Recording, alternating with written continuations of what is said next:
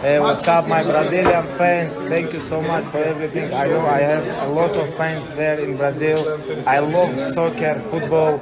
I really love all team Brazil, Ronaldo, Roberto Carlos, Bebeto, Neymar, like old one, old one. Uh, uh, no, no, Roque Júnior, Taffarel, Cafu, Roberto Carlos. Uh, one second, one second. Rivaldo, Ronaldinho, Kaká. No, more than Bebeto. Ronaldinho. I know Romário, all of them. Romário. Romario. I'm very big fan of soccer. I will come one day in Brazil and I really want to meet with all fans and with all team like 1998 and 2000 second. See you guys. Okay, thank you guys.